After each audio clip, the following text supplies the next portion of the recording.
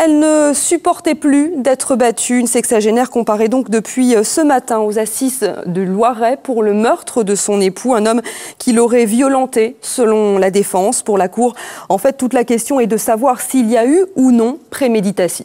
préméditation. Elsa Jean-Pierre Bruce. C'est une femme simple qui se présente à la barre devant les jurés.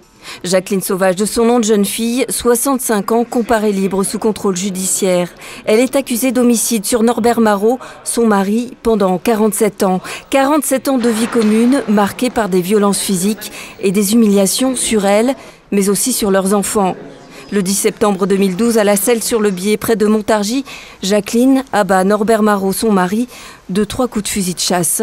Il venait pour la énième fois de la frapper. Pour la partie civile qui ne souhaite pas s'exprimer, l'acte était prémédité car Jacqueline est chasseuse. Faux, affirme l'avocat de la défense. Sa cliente a répondu à une impulsion. Elle dit euh, J'ai eu comme un éclair dans ma tête. Ce passage à l'acte, c'est quelque chose qui s'est produit sans avoir de raisonnement intérieur. C'est d'ailleurs ce que euh, je plaiderais. Euh, on nous a indiqué qu'il y avait une préméditation. Je dirais qu'il n'y a aucune préméditation et nous discuterons des conditions dans lesquelles euh, il a été rappelé qu'elle aurait préparé les munitions huit jours avant, ce qui me paraît, euh, ce qui me paraît pas établi.